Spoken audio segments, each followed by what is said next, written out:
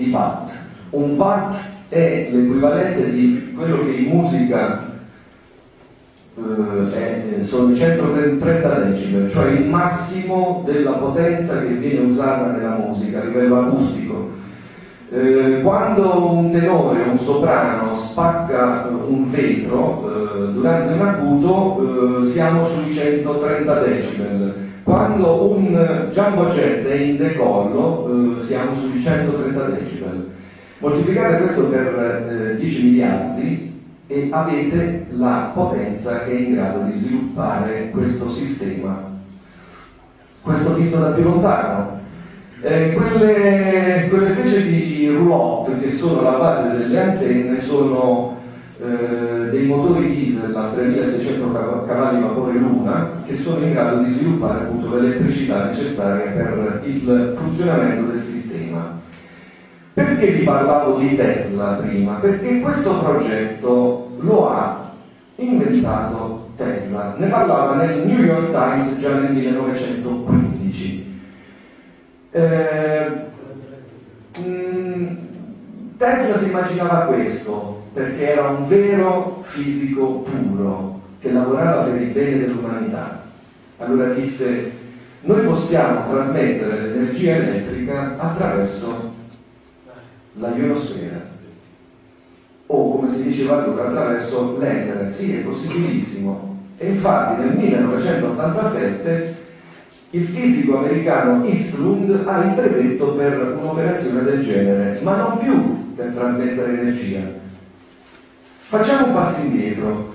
Eh, Arco Company è una eh, società eh, ricerca petrolifera statunitense che acquista i giacimenti all'inizio degli anni 90 acquista i giacimenti petroliferi e di gas dell'Alaska. Alaska che è ricchissima, attenzione, di gas e di petrolio. Qual è eh, l'idea dell'Arco Company? Anche questa molto buona e civile eh, per il bene dell'umanità Infatti l'Arco Company vuole costruire lì in Alaska una mega centrale e poi usare il progetto Tesla per trasferire energia a tutto il mondo. Questo non avrebbe scalfito per niente anche gli interessi monopolistici contro i quali noi dovremmo essere eh, per principio. Non deve esistere un solo fornitore di energia. Questa non è democrazia, è mafia, è dittatura. Eh, la Arco Company inizia la costruzione. Sapete, due anni dopo si inserisce la CIA e l'E-System che lavora per la CIA allontanano la Arco Company perché hanno capito che quel sistema può essere adoperato in maniera negativa. E Tesla già lo aveva detto nel 1915 attenzione che questa scoperta in tempo di pace può fare il bene dell'umanità ma in tempo di guerra può avere un potere distruttivo veramente catastrofico. Ecco le antenne ancora viste da più vicino.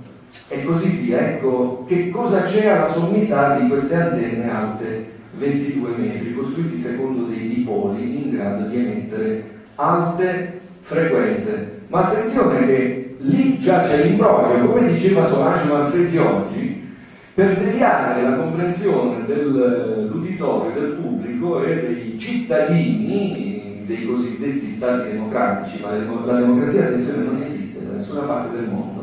Non mi fate infinocchiare che negli Stati Uniti c'è la democrazia e invece in Iran non ci sia.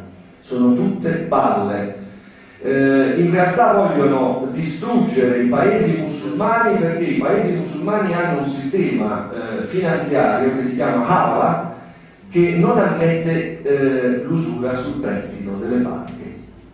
E naturalmente ecco che gli Stati Uniti vogliono assolutamente distruggere. Attenzione che quando c'è qualcosa che non si capisce c'è sempre un interesse finanziario bancario, e io direi dei banchisti, cioè dei banditi di questa società Tutte le guerre sono state montate all'arte dai banchieri. Ecco come funziona Harp.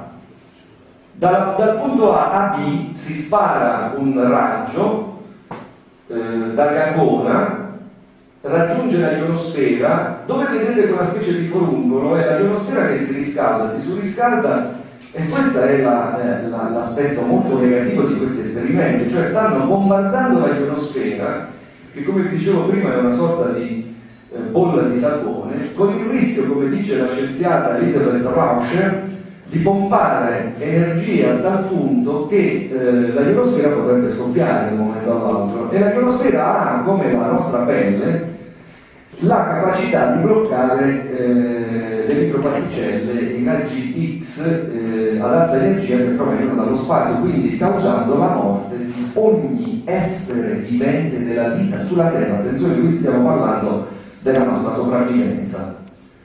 Ecco come funziona HARP a livello quindi di ricaduta a terra. Perché vi dicevo che c'è un imbroglio già nel high frequency, alte frequenze? Perché chi ma- mangiucchia un po' di fisica sa benissimo che se io sparo sulla ionosfera una frequenza di 1000 Hz, facciamo un esempio semplicissimo, e subito dopo di 996 Hz la ricaduta a terra sarà di 4 Hz. Voi direte 4 Hz sono pochissime,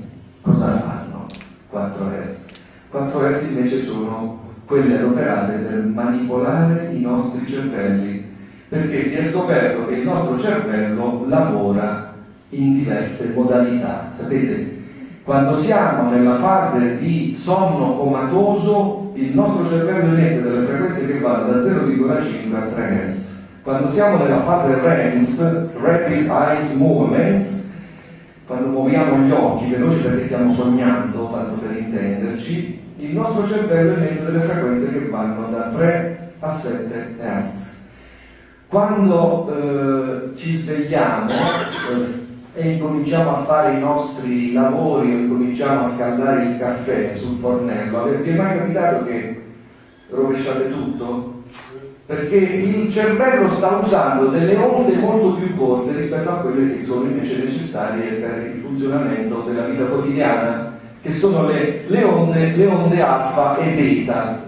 Eh, ecco perché, siccome tutto è molto più lento, in pratica la mano arriva dopo, o viene sbilanciata e arriva prima e quindi versiamo il caffè per terra, perché c'è bisogno che si innestino invece queste onde eh, dai 7 ai 12 Hz eh, che implicano l'attività della fase del, del, del, della sveglia, della veglia. Poi da 13 a 34 Hz abbiamo le altre onde che state usando voi in questo momento eh, cercando di comprendere quello che io vi voglio trasmettere. Dalle 34 alle 64 le onde gamma sono quelle che permettono agli scienziati di fare le grandi scoperte, ecco perché poi ci si, ci si stanca quando si usano le onde, si fanno delle, dei lavori di ricerca, di, eh, di analisi scientifica di analisi sociologica, di connessioni filosofiche e così via. Questo sono acqua al tramonto.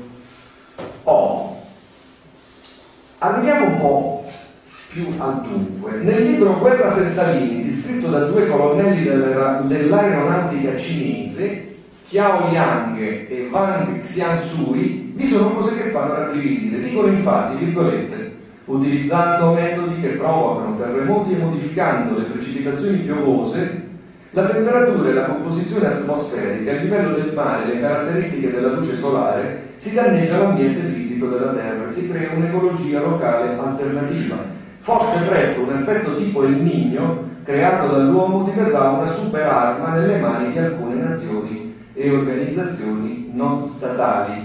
Attenzione che il governo statunitense i parlamentari e i senatori sono all'oscuro di tutto questo, o almeno gran parte di essi non lo sa.